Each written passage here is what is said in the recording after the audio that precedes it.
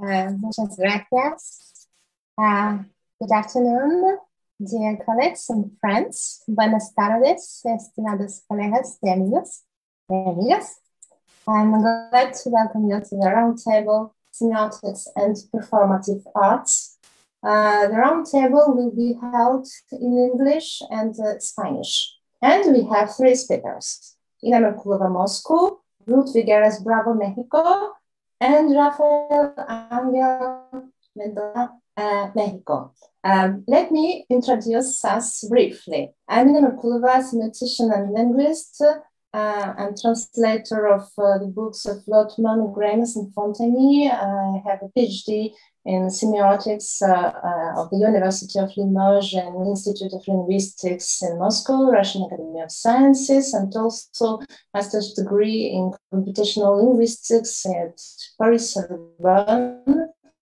And my directors was uh, Jacques Fontany for semiotics and Jean-Pierre Leclerc um, for computational linguistics. Now I'm associate professor at the State Academic University for the Humanities and uh, head of International Center for Semiotics and Intercultural Dialogue. Uh, my research interests are semiotics of culture, literary semiotics, and translation.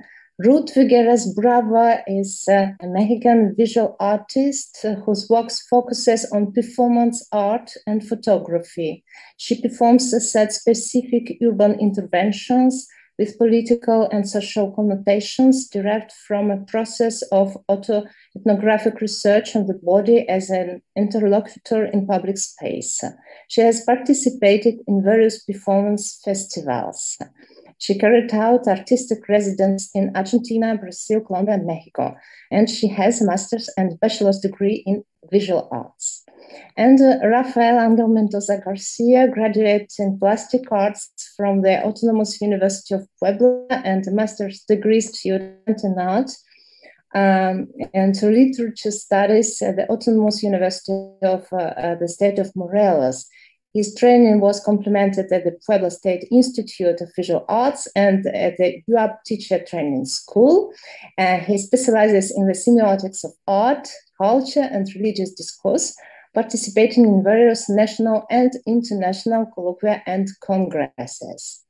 Uh, so we are three participants, and uh, I think we can start. Um, my presentation is uh, the first. It was a decision of the organizers, not mine.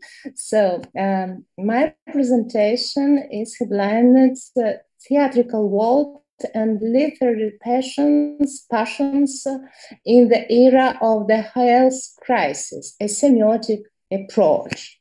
And now I will uh, launch my presentation. I hope it will be without problems. Just a moment. Is it okay for the presentation? You can see? Well, uh, so uh, thinking about the theatrical world and literary passions in the era of the health crisis, I would like to start with a quote from the Russian theater and film actor Georgy Burkov.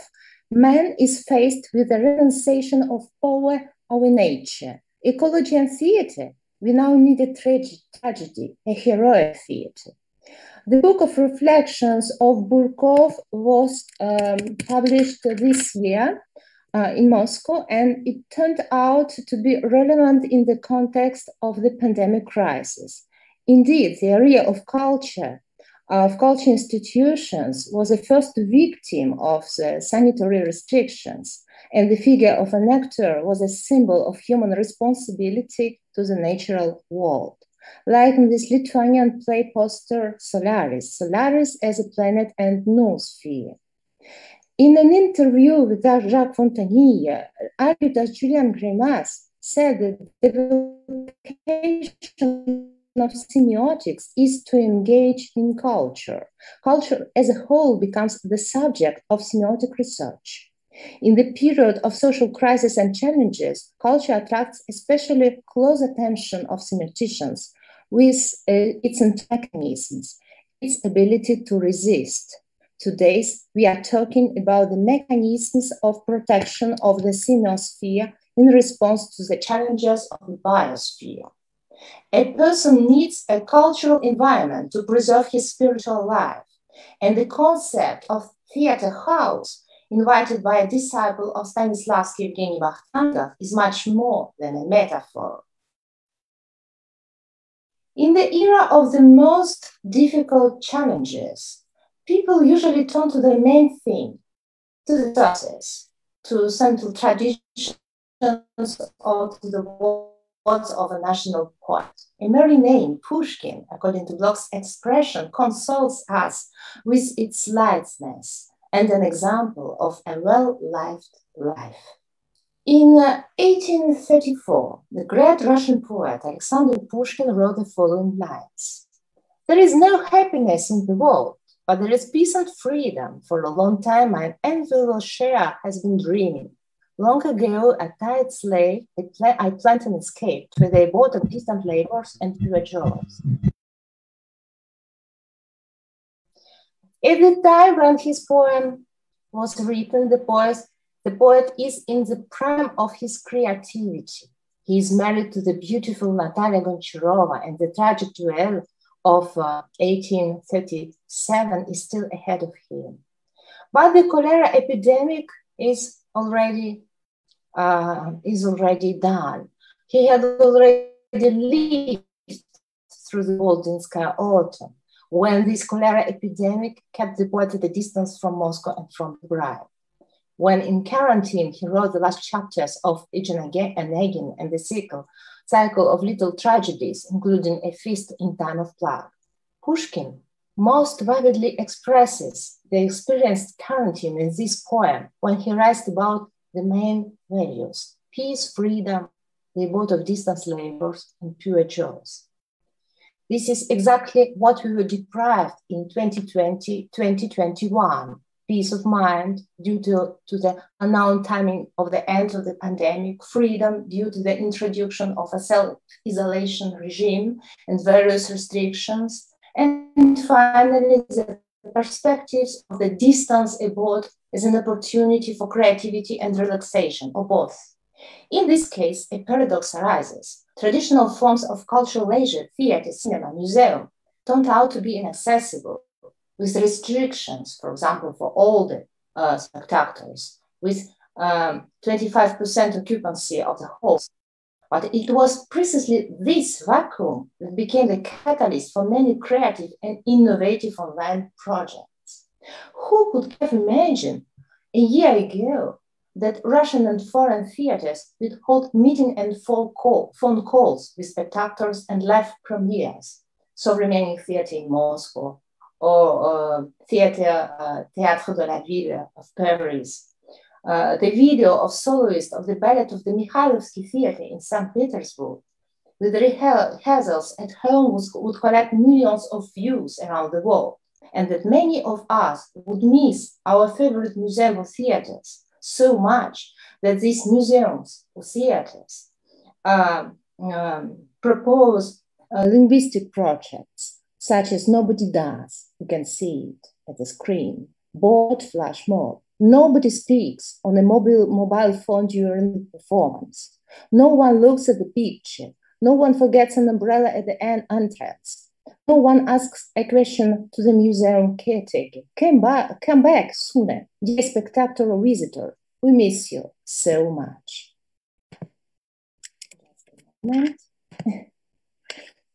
um, that the format of an online festival or one play would appear when the work of the outstanding playwright Alexander Van Vampilov would be discovered in a new way by adult students and school children and that we ourselves would turn into artists, painters, musicians, coming up with online performances and imitating a cultural trip to the theater.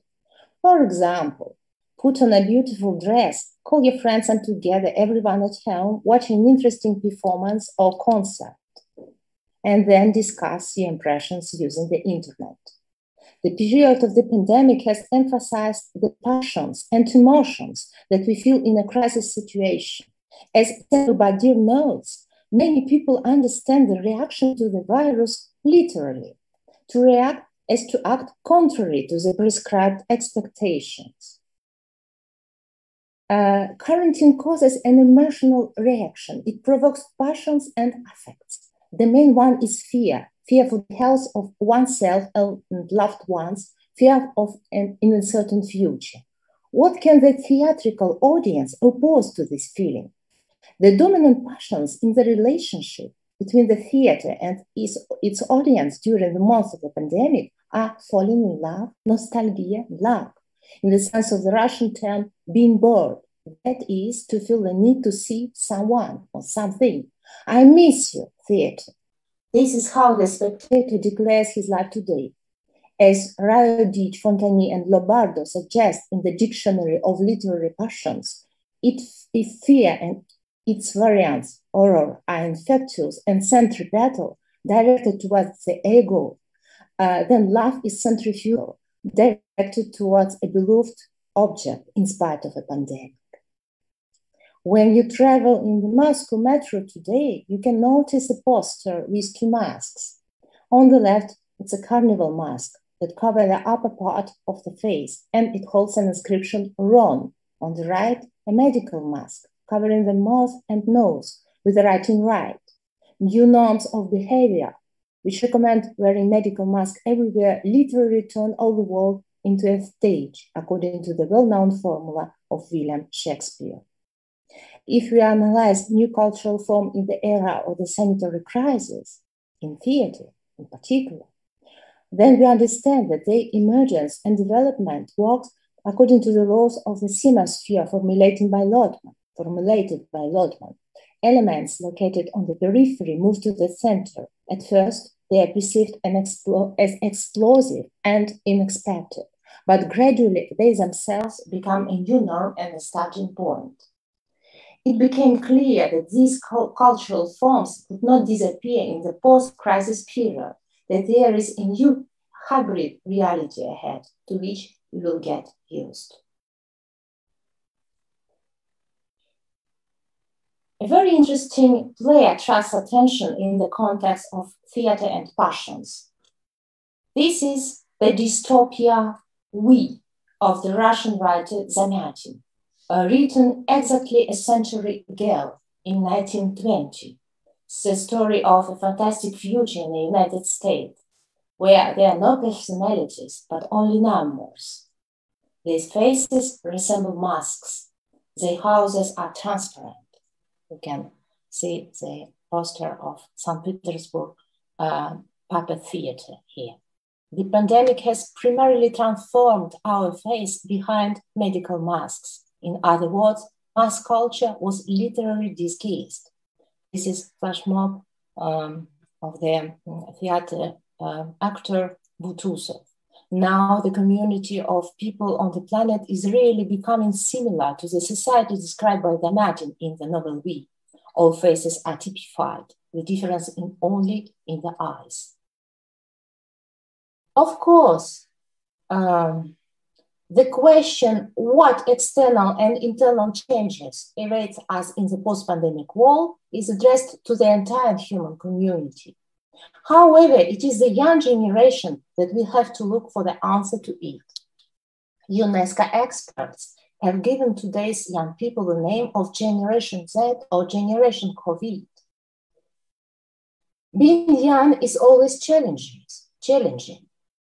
If it was not easy before the COVID 19 pandemic, it is the more difficult during this time. This is uh, a words from UNESCO publications, UNESCO Courier. Today, on the streets of Moscow, you can see billboards with the slogan, I have been vaccinated with a sense of responsibility, depicting both famous public figures, for example, actors and theater directors, and young people. The vaccinated young person becomes a symbol of pride and responsible behavior. The conflict of generations within the society between we adults and they, youth, gives way to a common dialogue. And you, are you vaccinated? Are you a responsible person? Young people in masks are morally more vulnerable than adults. They are deprived of the opportunity to see the beauty of their faces, to fall in love with a smile.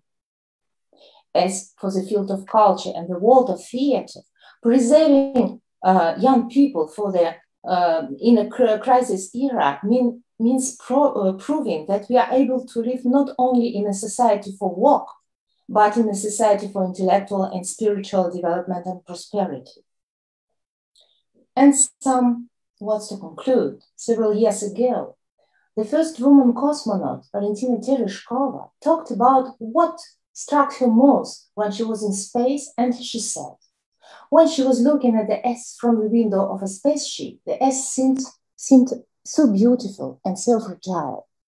And all our conflicts, troubles, problems were so insignificant because all this taken together could disappear in one moment.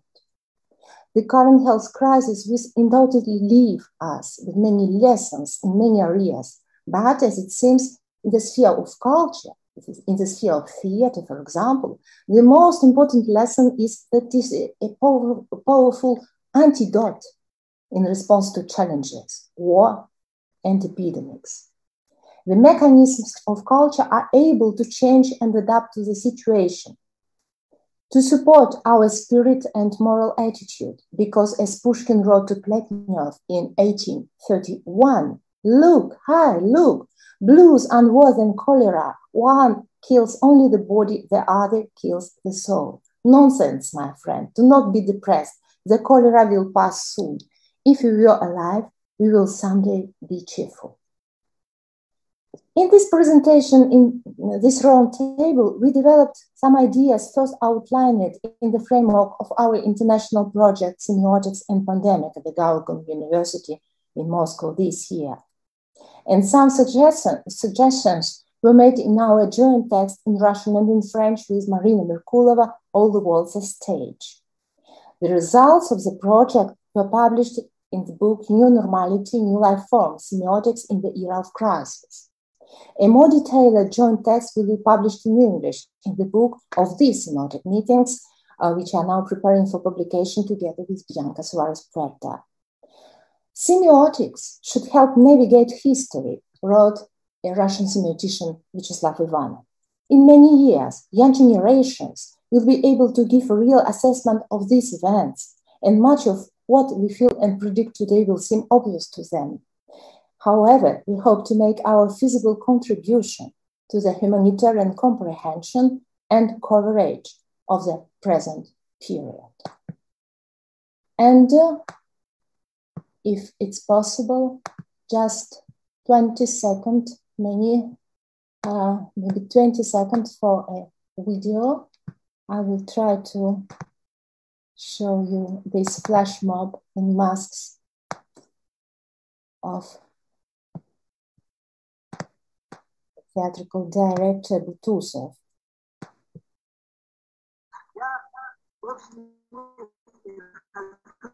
Yeah Конечно, сегодняшнем празднике есть моя доля не только в прошлом, но, может быть, даже, возможно, в последние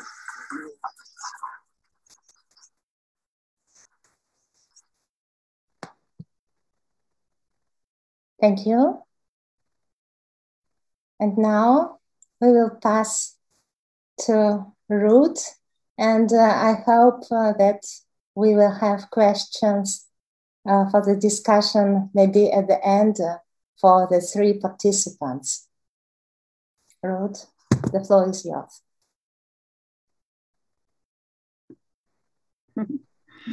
Gracias. Eh, buenos días, México, eh, bueno, eh, buenas noches allá en Moscú y también buenos días en, en Colombia. Eh, un cordial saludo. Es un honor presentar la ponencia titulada Espacio Físico, BC Espacio Virtual. la performance art y el arte de acción en un momento de desmaterialización simbólica entre lo visual y lo visible.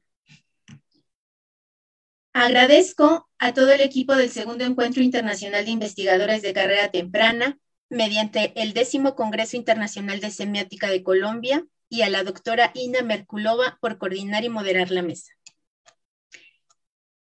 El ciberespacio, que cada vez es más habitado, más transitado por más usuarios y por más tiempo, sin duda nos lleva a un control digital en ese cibermundo, tal y como lo menciona el filósofo surcoreano Byul Chung Han en su libro Psicopolítica, en donde plantea que la Big Data es capaz de vigilar el comportamiento humano y someterlo a un control psicopolítico, puesto que la óptica digital posibilita la vigilancia desde todos los ángulos, esto conlleva a un cambio de paradigma sociocultural.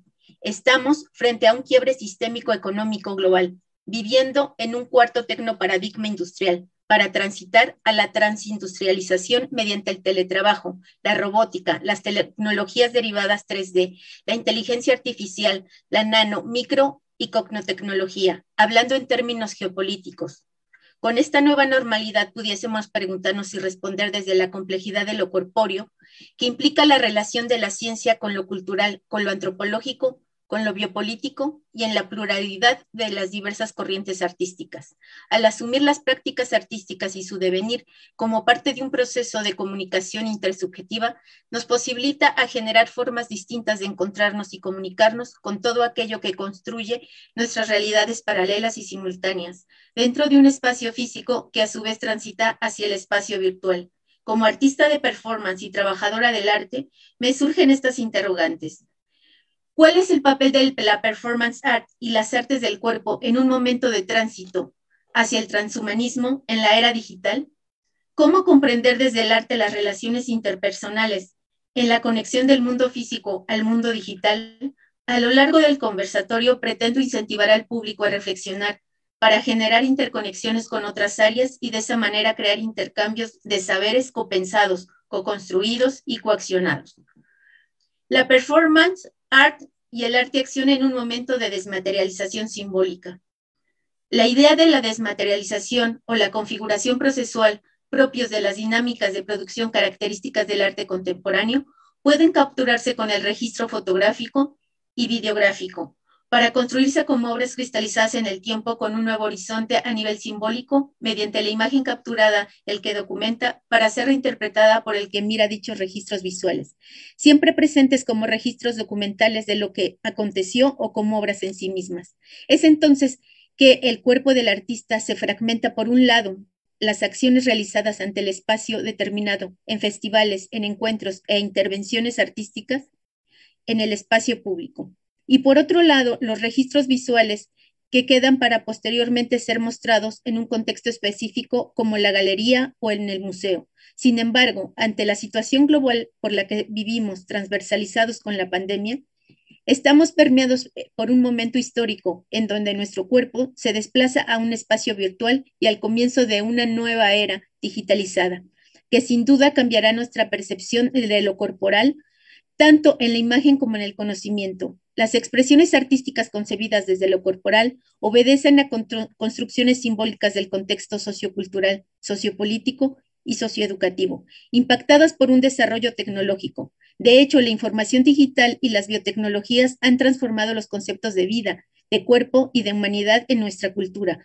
Estos cambios han generado un una creciente sensación de ambivalencia acerca de a dónde nos puede construir estas nuevas tecnologías. Tal es el caso de los conceptos de cyborg, posthumanismo, convertidos en metáforas importantes para la conceptualización en el mundo del arte, con múltiples expresiones y diversos artistas que reflexionan sobre los tópicos provocando diversos debates éticos y morales.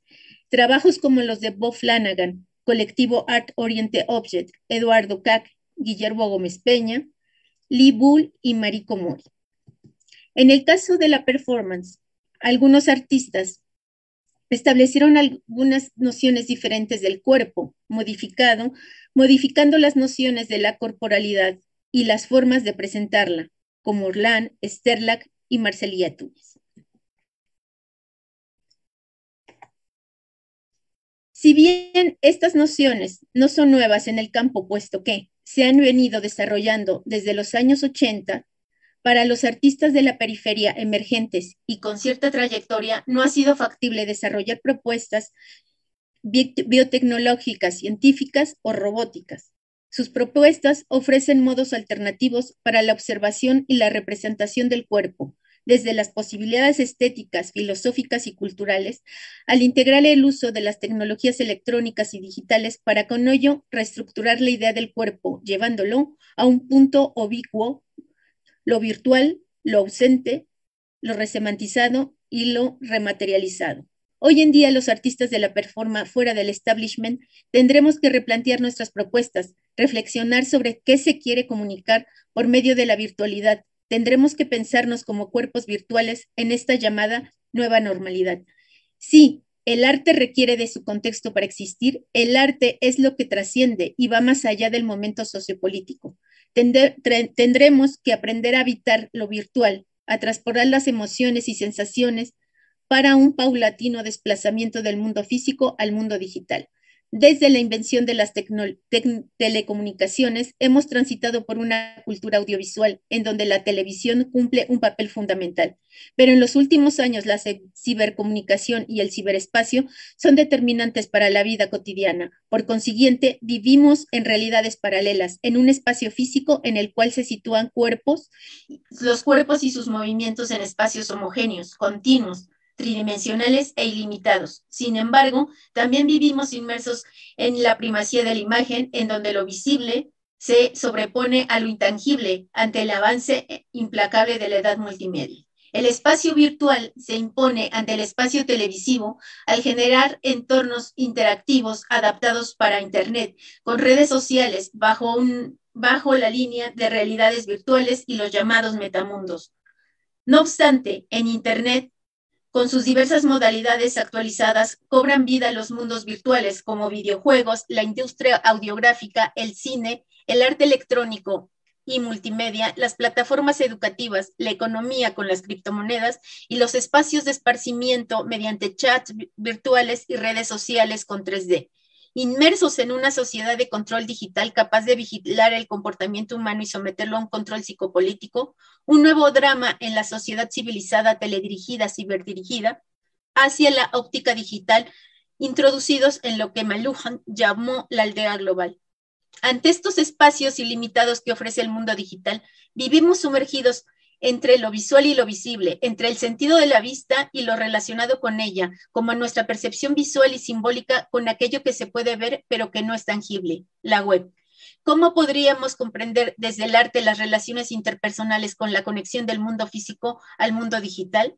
Si el espacio y el tiempo han sido dos conceptos de las grandes reflexiones filosóficas y de las artes del cuerpo, incluida la performance, en ese mismo contexto y ante una emergencia sanitaria, pasamos de vivir realidades paralelas a realidades virtuales versus espacio físico, espacio virtual, en donde cada vez más nos desplazamos a la digitalización absoluta que comenzó con la sociedad teledirigida, concepto descrito por Giovanni Santori en 1997 en su ensayo Homo Videns, la sociedad teledirigida.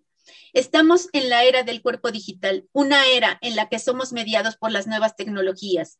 Nuestra apariencia física, nuestra personalidad, nuestra identidad y nuestra intimidad son escaneadas, fotografiadas, intervenidas y exhibidas en un gran museo abierto con la web.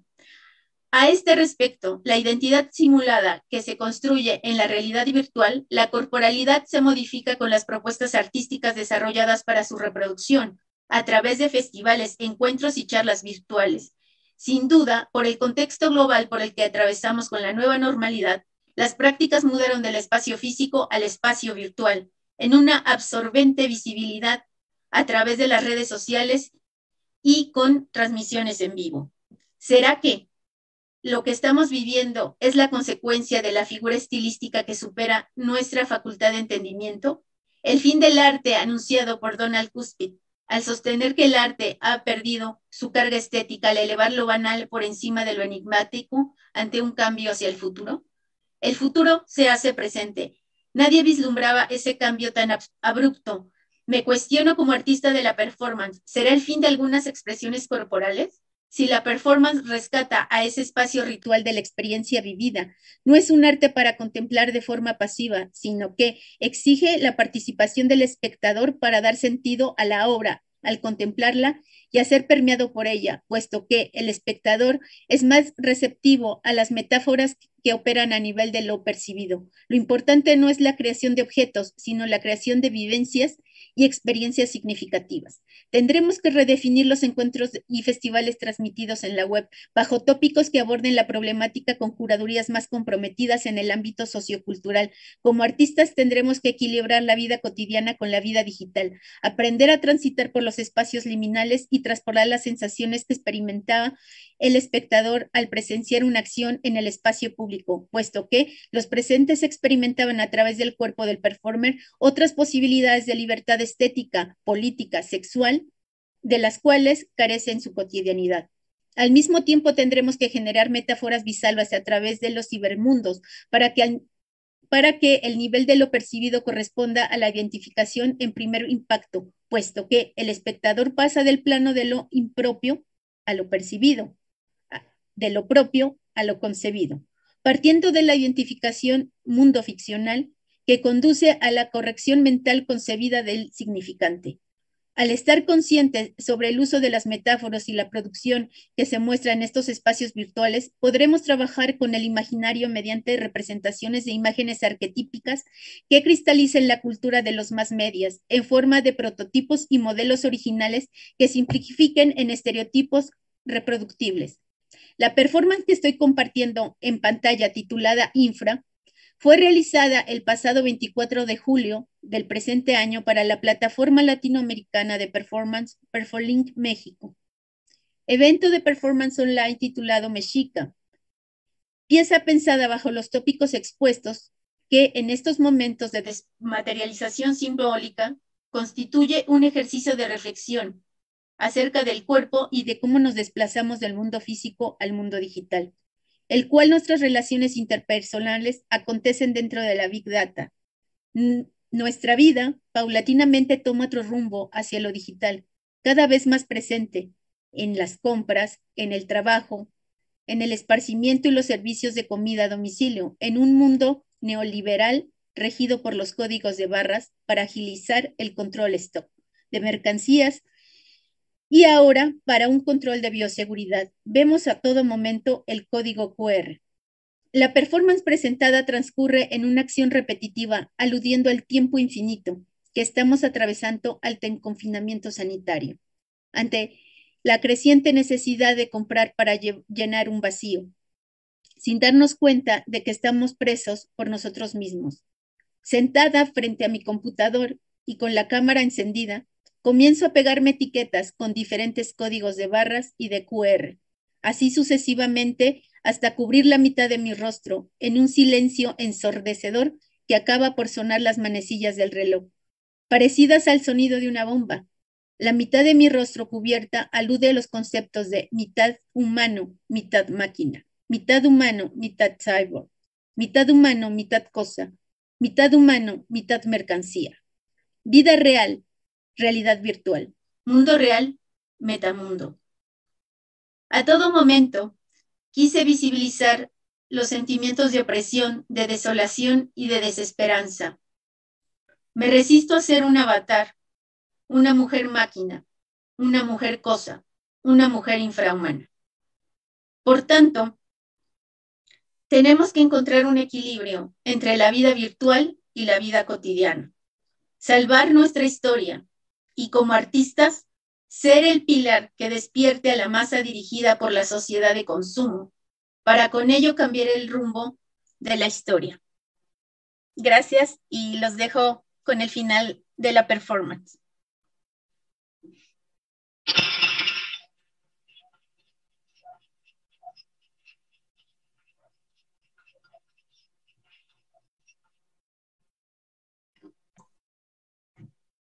Muchas gracias, Ruth. Muy impresionante, muy topical. And now um, the floor is to Rafael. Rafael, please. Muchas gracias. Muy buenos días. Voy a comenzar a compartir pantalla. Eh, creo que todavía está compartiendo eh, Ruth, no sé. Ahí está un momento.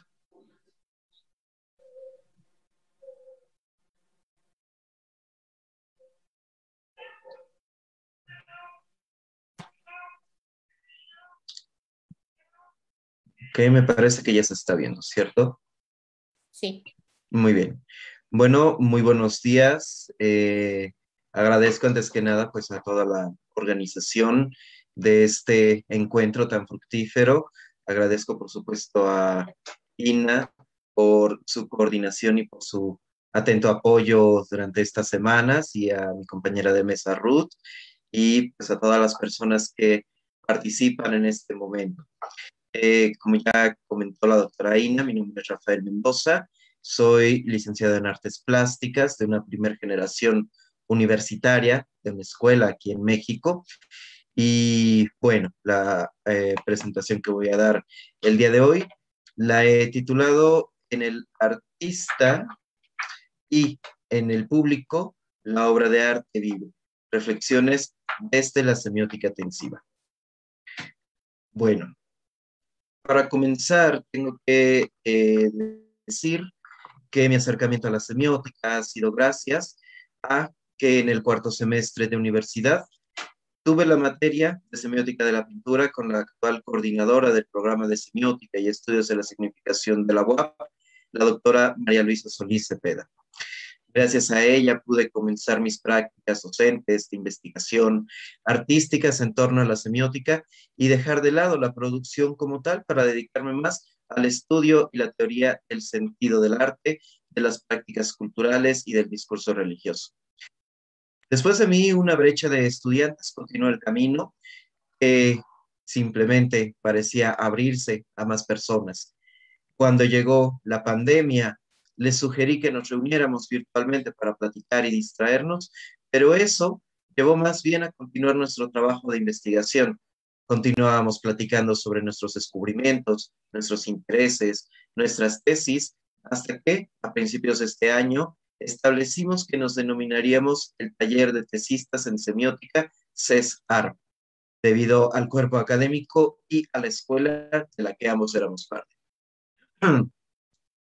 Fue así que a inicios de este año, la Escuela de Artes Plásticas y Audiovisuales UAP sugirió una convocatoria denominada Colores de la Pandemia, en la cual los artistas de cinematografía, arte digital, artes plásticas y medios digitales produjeran una obra, mandaran un testimonio y este pudiera ser parte de un libro colectivo digital. El taller en el que acabo de hablar decidió hacer una propuesta y todos los estudiantes del que somos parte, excepto yo, mandaron una obra más un testimonio producido durante la pandemia. La doctora Solís y un servidor nos dedicamos más a escribir la introducción y conclusión de ese capítulo y nos dimos cuenta que las obras en conjunto parecían reflejar una especie de duelo, parecían reflejar un sentimiento de tristeza, de dolor, pero también de superación después de la pandemia, como si el arte de manera global estuviera reflejando lo que el mundo está viviendo. Después de eso, eh, decidí comenzar a trabajar unas reflexiones sobre la semiótica ofensiva que inicié pocas semanas después de que surgió la noticia de una enfermedad en China. Pocas semanas después el mundo se paralizaría porque esta enfermedad había cubierto todo el globo.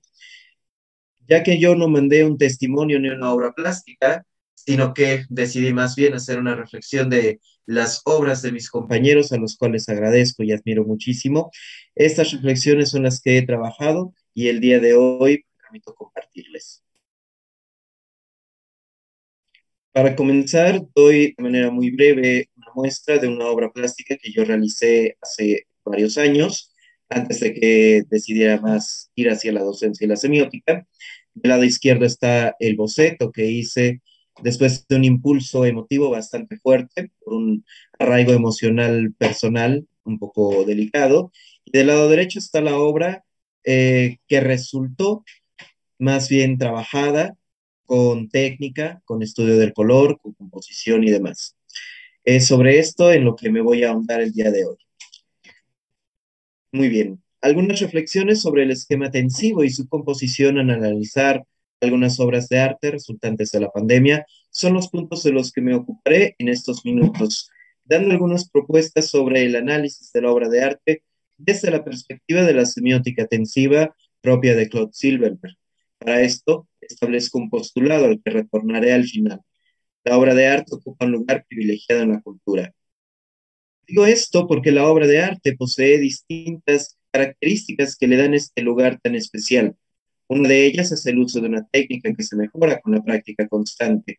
De ahí que el artista al terminar su obra sienta la necesidad de iniciar u otra más y mejorar ciertos aspectos de su práctica, que podemos aproximar a la alternancia de regímenes fóricos, cuando el equilibrio es predominante, inhibe el alivio y viceversa.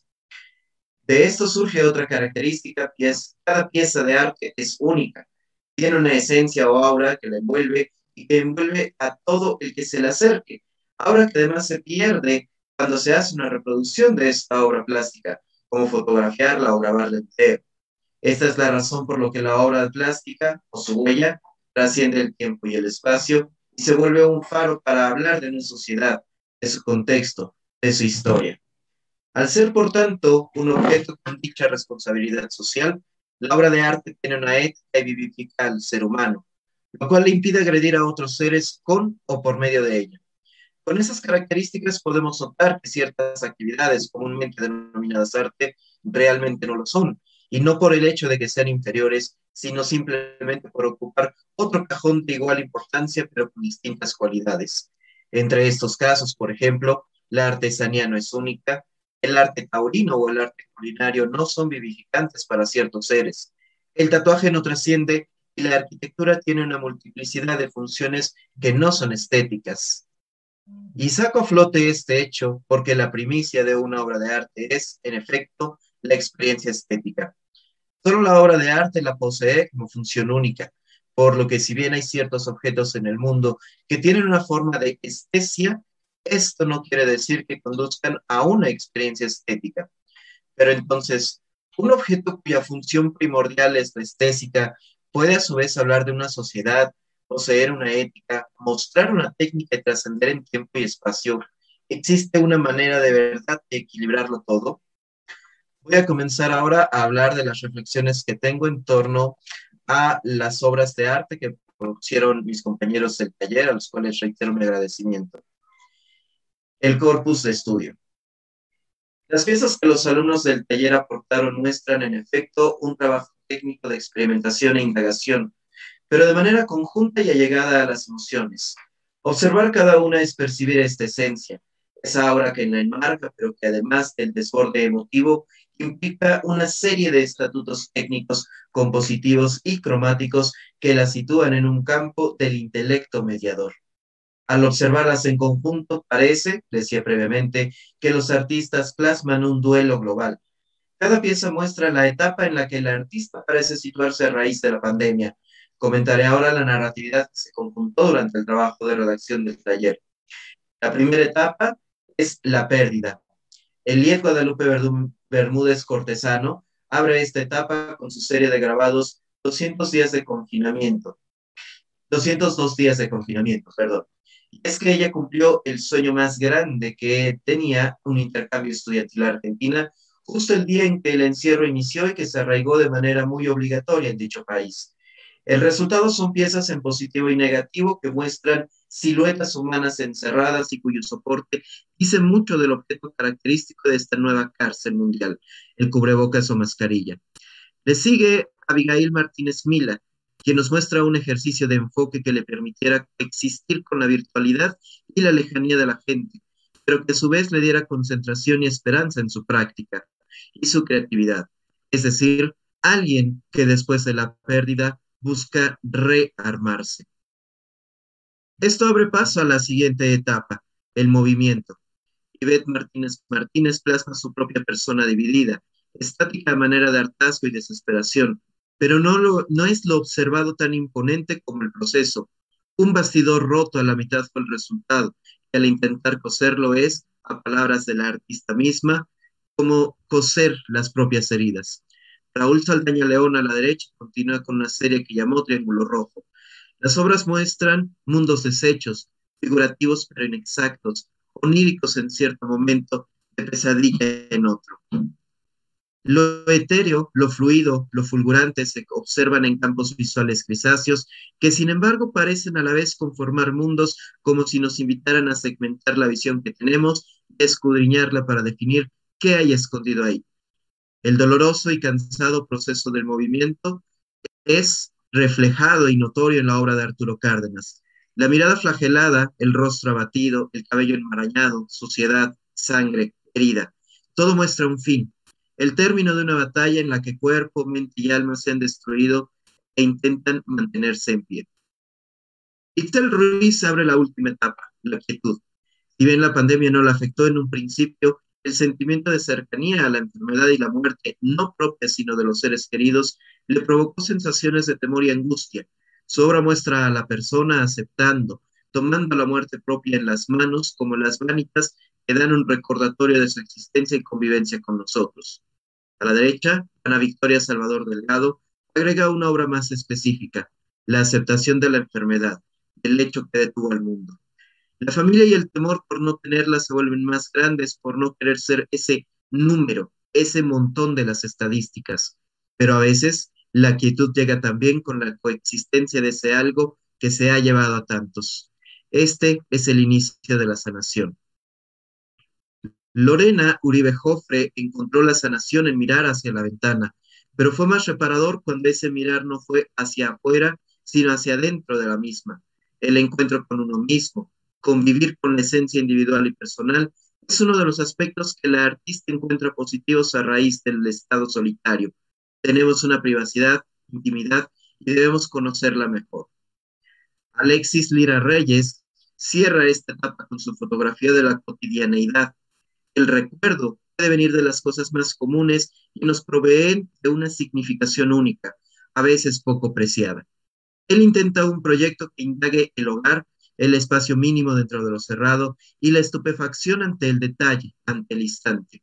Su pieza además es de colaboración. La familia misma elige piezas, les da un orden en conjunto e ayudan a clasificar lo que hay en casa para ver su desgaste, sus cualidades y su historia.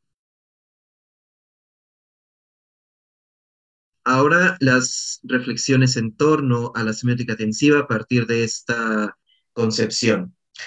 La obra de arte nos permite entonces un intercambio con ambos mundos, el de lo inteligible y el de lo sensible, pues toma parte de los dos. La estética reflexionaría sobre el vínculo con lo sensible, pero el esquema tensivo nos permitiría eh, vislumbrar este gran hecho no como un punto de equilibrio, sino como un proceso de equilibrio y como todo proceso sería un continuo dinámico que se aplicaría a cada objeto procesado. Ahora, este proceso de construcción de una obra de arte bajo los términos de intensidad y extensidad se pueden analizar. Dimensiones interdependientes del esquematismo semiodiscursivo, el primero refiriéndose al ámbito de lo sensible el segundo al de lo inteligible. El proceso de una obra de arte consta de tres estadios, el artista, la obra de arte en sí y el público. Por lo tanto, existirían dos etapas o dos temporalidades en la vida de la obra de arte una en la que vive con el artista y otra en la que vive con el público. La primera temporalidad comenzaría con una explosión emotiva, un impulso creativo que provoca al artista a extenuar algo de su interior. Esa explosión está llena de sensibilidad, por lo que podríamos ubicarla en un punto alto del eje de la intensidad en el esquema tensivo. Sin embargo, la técnica y la formación llevan al mismo artista a acabar esta obra de arte, definir mejor el color, utilizar una técnica correcta, indagar en la composición, perspectiva, anatomía, investigar.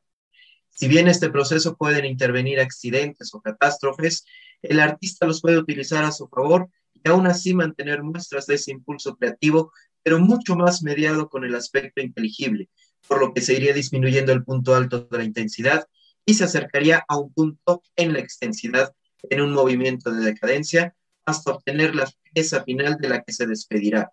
La dejará ir. Ya no será suya, sino que ahora la regalará al público. Esto nos llevaría a una segunda temporalidad.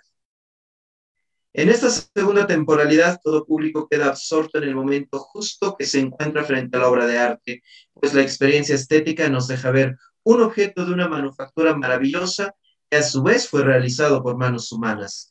Esas dos ideas en la mente del público provocan en fusión un momento de silencio y estupor que caracteriza la experiencia estética. Nuevamente nos encontramos en un punto alto de intensidad, pero de entre todo el público, solo algunos se acercan para analizar y estudiar la pieza. Es decir, algunos pasan del proceso del sentir al del percibir.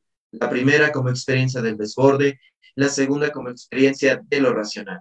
Este nuevo movimiento de decadencia atravesaría distintas etapas, del silencio, la exclamación, el elogio o el tocar como un aspecto sinestésico.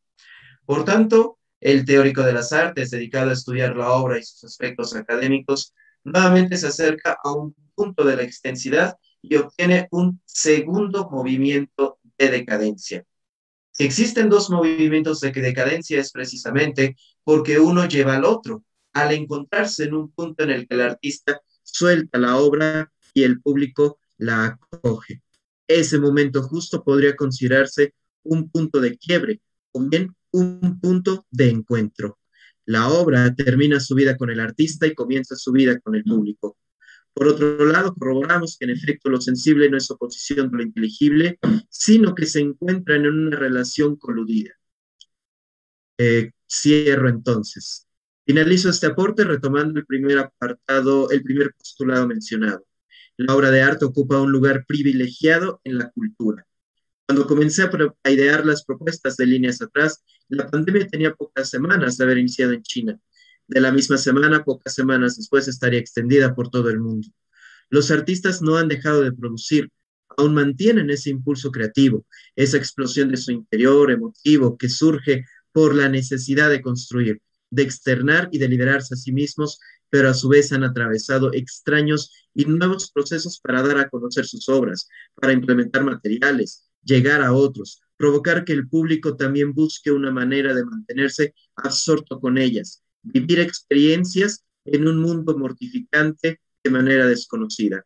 El sentido y la significación parecen ser una resignación una nueva cultura visual está germinando en la producción artística con este parteaguas mundial. Las obras resultantes de esta etapa mostrarán momentos desbordantes de emotividad y serán encontradas en silencio y admiración por los públicos desde distintos puntos de vista. Sin embargo, el punto de quiebre en este caso correspondería a, una, a un verdadero punto de encuentro, gracias a la necesidad del artista por dejar ir y soltar lo que ha encerrado, así como la necesidad del público por acoger objetos en los que se ve reflejada su angustia y dolor debido al encierro, debido a la pandemia. Ambos buscarían resaltar, resignarse y resignificar los colores y las vivencias obtenidas durante la pandemia. Eh, están eh, algunas referencias del trabajo y Reitero mi agradecimiento al encuentro, la organización y dejo aquí mi correo para continuar la discusión en otros momentos. Muchísimas gracias.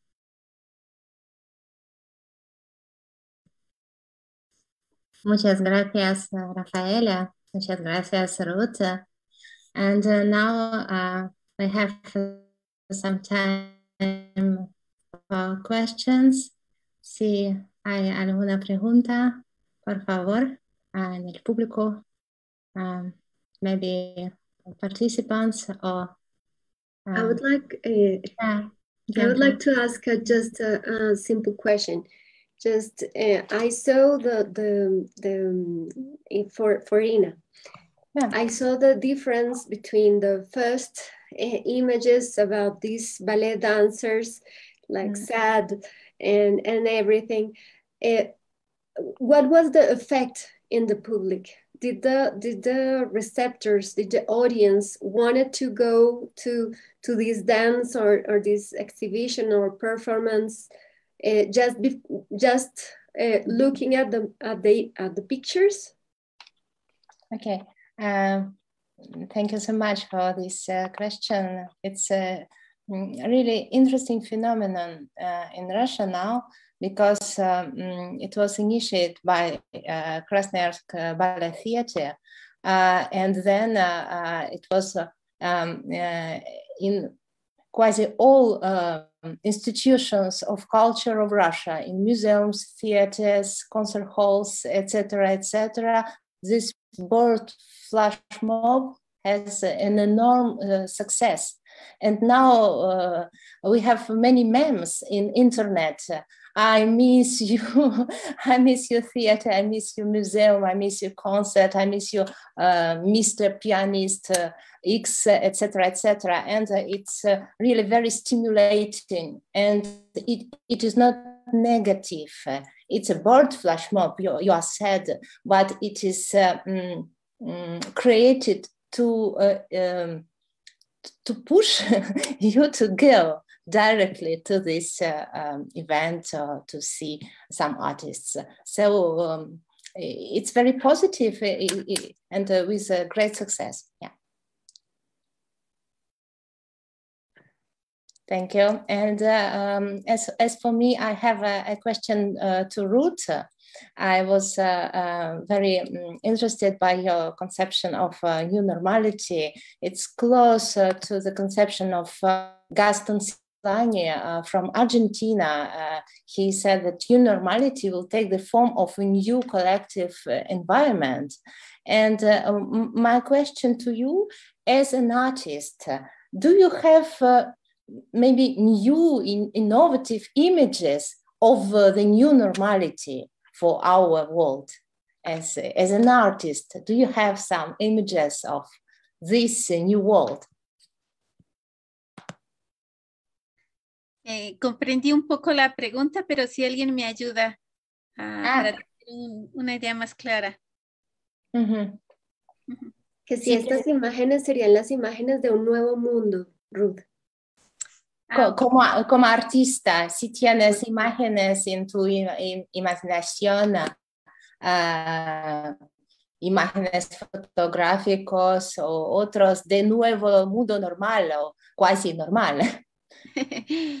Eh, como lo dije en, en, la charla, bueno, en la ponencia, creo que tenemos que, que, que ser mediadores entre ese espacio virtual y espacio físico, porque en mi, en mi imaginación es ese mundo digitalizado, eh, pero que no solo es mi imaginación, sino que está próximo con, con toda esta situación y con los avances cada vez más rápidos que tienen las tecnologías. Incluso se habla de, de, un, eh, de desconectar la, la, web, ¿no? Hace poco vivimos también desconectados con el WhatsApp, con el Facebook, eh, se pretenden mejorar todas estas redes y, utilizar otras.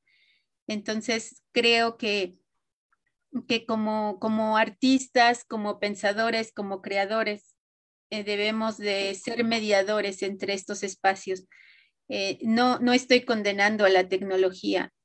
Creo que debemos de apropiarnos de ella para potenciar en muchas cosas a nivel artístico eh, o científico o creativo, eh, pero no, no quedarnos atrapados en esas webs, en esos mundos virtuales, en, en, esa, en esos avatares. Me resisto a ser un avatar, eh, incluso pues muchos empresarios están apostando a, las inversiones a través de, estos mundos digitales, a través de avatares.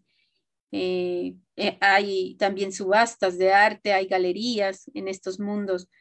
Eh, yo me resisto. Eh, no sé, es mi, mi opinión y, quisiera exhortar a, a la reflexión y, y, a mediar estos espacios liminales con los mundos físicos.